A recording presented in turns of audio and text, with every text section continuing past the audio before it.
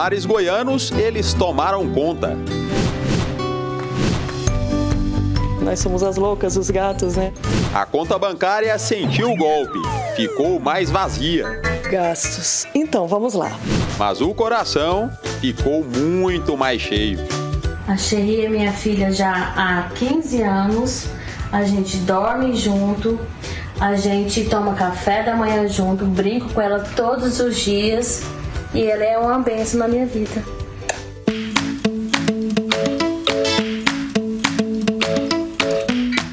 O amor está no ar, um amor que não se mede. Mas será que se explica? Tem explicação sim, vocês vão ver. A nossa vida com os pets. Impossível hoje em dia imaginar sem.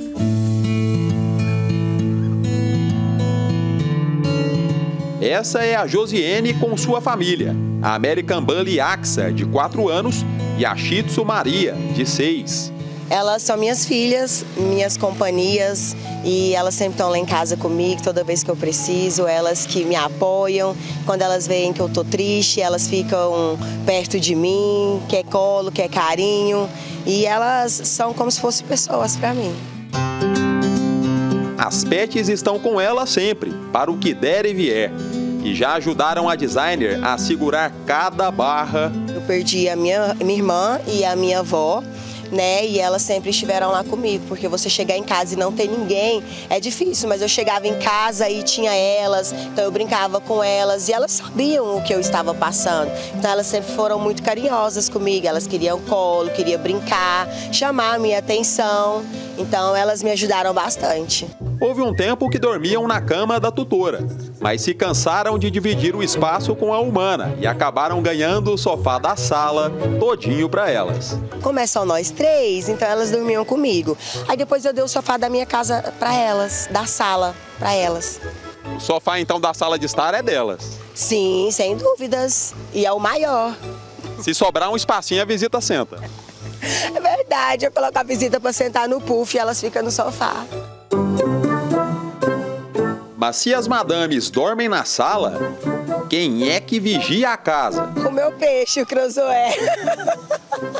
Porque elas mesmo não vigiam, não. Elas são mais é companhias mesmo, elas são muito dóceis. Mas não é um tubarão, não? Não, é um beta. Josiane tem o sonho de aumentar a família, casar e ter filhos.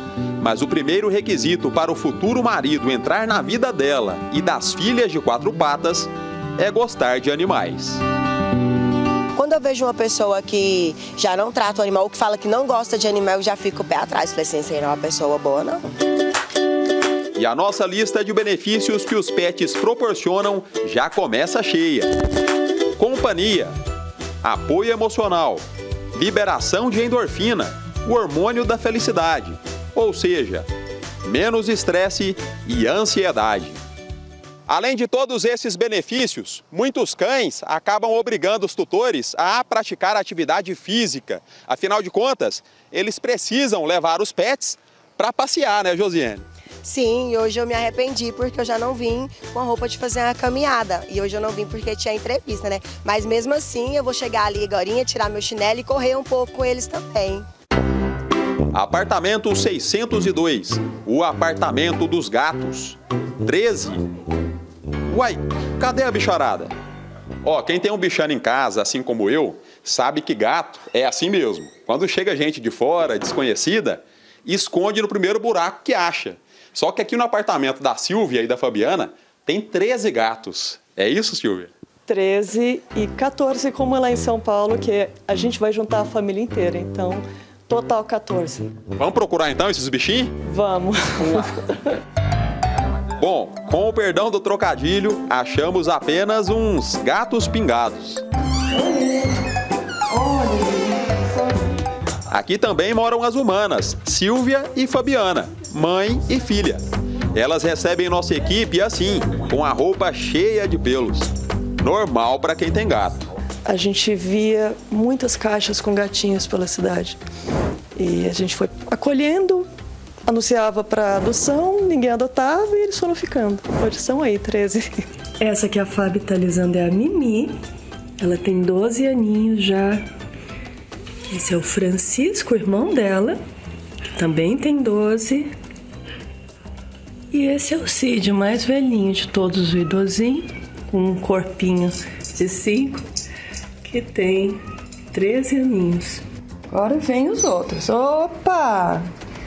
Que maravilha! Todos esses bichanos foram resgatados da rua. A Lili, nós resgatamos ela numa condição muito especial. Nós ouvimos Mil bem de longe e era a irmã delas, eram bem pequenininhas. E gracinha. E ela estava com os olhos totalmente fechados, com muito, muita secreção. E o veterinário, quando nós levamos para socorrer, ele falou: se falta um dia, ela fica totalmente cega, perde os olhinhos. E ela tem deficiência visual, mas é muito feliz, muito mansinha, né? Muitos gatos, muitos gastos. Veterinário, remédio, ração. Mas o balanço geral é para lá de positivo. No final, o balanço é saúde para todo mundo, inclusive para nós humanos. Porque meu irmão, ele costumava dizer, se você tem gato em casa, você não tem terapia, você não precisa.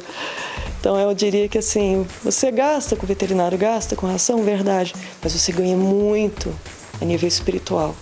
E a fama que gato tem de interesseiro e indiferente, Silvia contesta de imediato a professora vira quase uma advogada de defesa felina. Os cachorros, eles têm essa relação histórica com o ser humano de, vamos dizer assim, simbiose, né, de trocas, mas o gato, ele tem uma questão de guardião. Os gatos também têm muito a ensinar. A Fabiana convive com eles desde os 3 anos de idade. Diz que aprendeu no cuidado diário com os bichos a desenvolver o senso de responsabilidade. Definitivamente isso me ajudou a ter mais res responsabilidade é, em relação a cuidado, né, respeitar o espaço dos gatinhos. E quando eu fui crescendo também, eu dividia as atividades com minha mãe, é, trocando areia, levando o veterinário, é, dando comida para eles. Você acha que parou por aqui com 13 gatos? Você acha que pode vir mais? Ah, isso eu não vou saber te dizer. Agora são 15, 15 pessoas numa casa só. Porque são considerados membros da família, né? Exatamente, são membros da família. O sentimento por eles é como se eles fossem meus irmãos. Para quem não gosta de gato, ok, não tem problema. Mas fica o importante recado. Se não puder levantar a sua mão para ajudar, pelo menos não maltrate. A sensação que a gente tem é que a quantidade de pessoas que amam e defendem os animais vem aumentando a cada dia. Prova disso é que o número de estabelecimentos pet friendly também vem crescendo. Aqui em Goiânia, por exemplo, há restaurantes e shoppings que permitem a entrada dos doguinhos.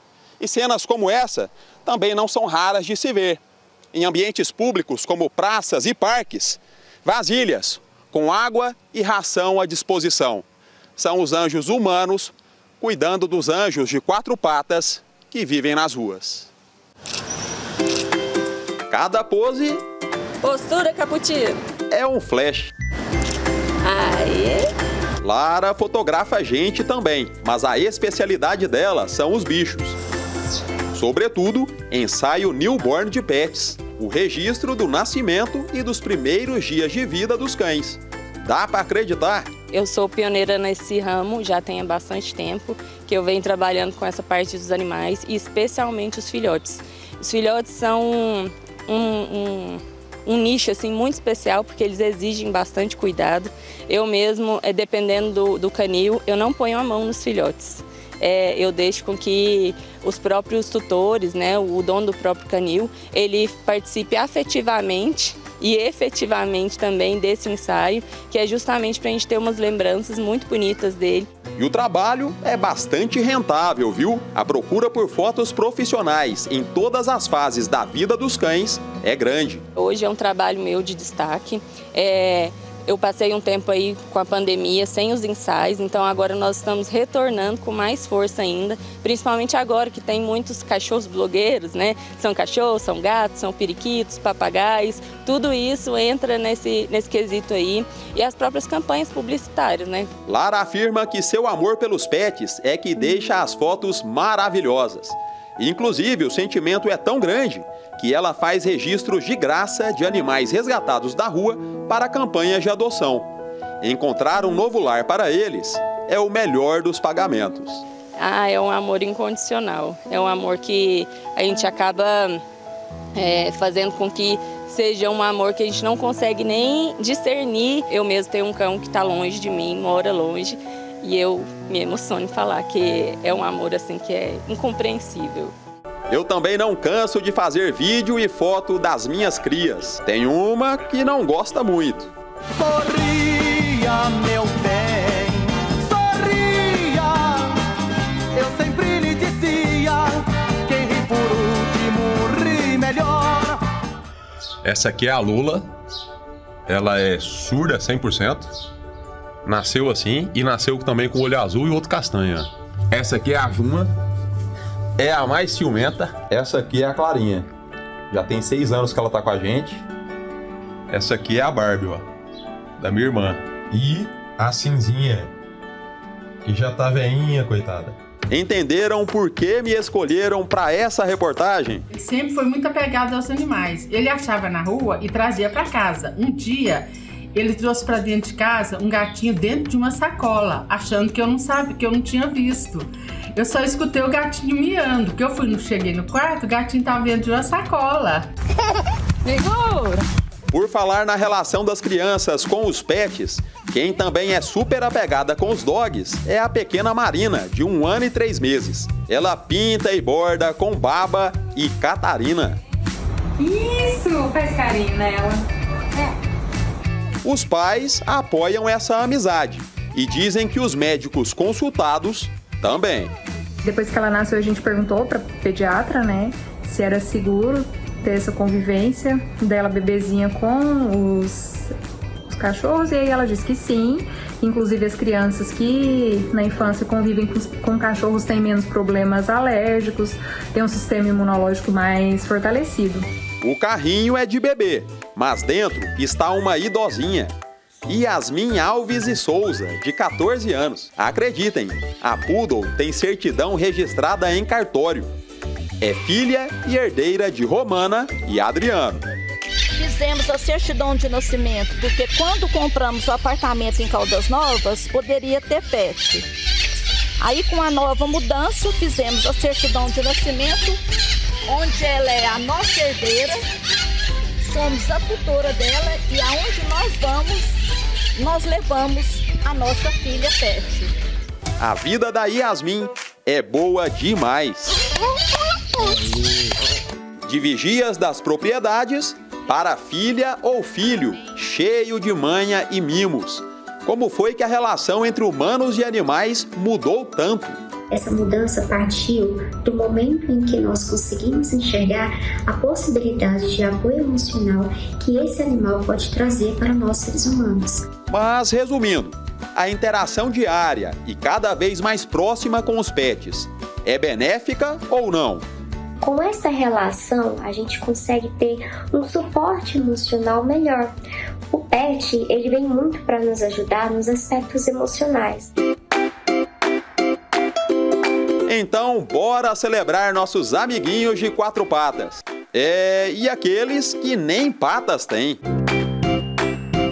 Eu resolvi, depois que meu filho me pediu muito uma, uma cobra, adquirir a Larissa. E como pet, ela é maravilhosa. É um animal de baixo custo de manutenção, um animal que não vai ter uma interação como um gato ou um cão, porém um animal que dá super bem nas casas da gente. Meu filho pega ela, a gente anda por aí, um animal que tem toda a documentação e eu sou autorizada a ter ela em casa.